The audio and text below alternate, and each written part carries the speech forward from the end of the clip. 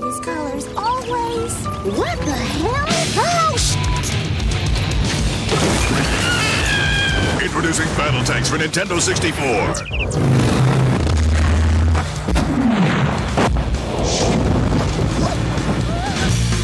Explosive tank action for up to four players.